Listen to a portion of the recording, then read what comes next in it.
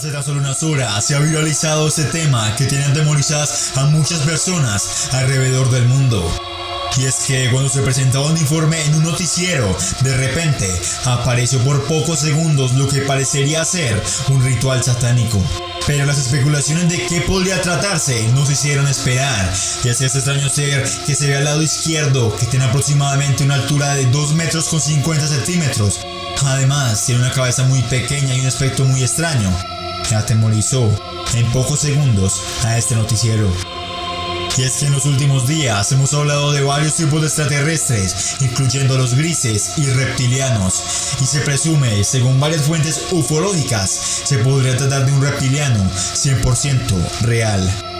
Al lado podemos encontrar una extraña persona con una capa negra que resulta ser aterradora. Esto puede tratarse fácilmente de una presentación de un reptiliano a la humanidad.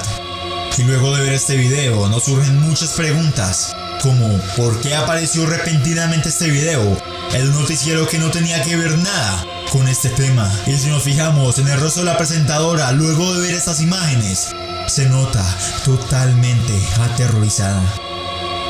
Ahora, ¿tú qué opinas? ¿Crees que los extraterrestres ya están revelándose a los seres humanos? Te leo en los comentarios. Y el saludo al video de hoy es para Alex Ponce, quien ha estado muy activo en los últimos días. Si quieres que te saluden en el próximo video, solo es dejar un comentario positivo y probablemente tú seas el próximo en ser saludado.